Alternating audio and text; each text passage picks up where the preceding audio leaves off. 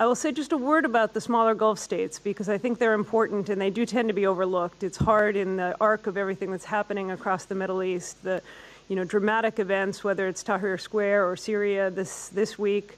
Um, you know, there's a lot else happening. There's politics happening everywhere, and there's uh, change happening everywhere. And we've seen in, in the four Gulf states that I had the opportunity to take a look at for this book a variety of different responses, to some extent uh, reinforcing some of the traditional tendencies of, of different countries, but also bringing new fissures to light as well.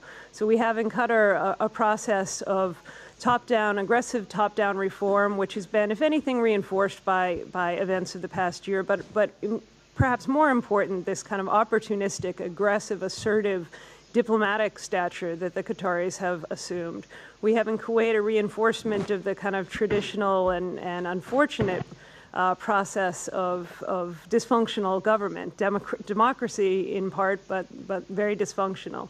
We have in Oman really a, a very low level but important uh, set of protests that have occurred and, and vi ongoing violence that has occurred that should not be ignored in the wake of everything else that's happening. And we have in the United Arab Emirates a, a, an even closer identification with Saudi policy, a conservative and a very defensive reaction to the very modest amount of protest and unrest that they've seen in their own country.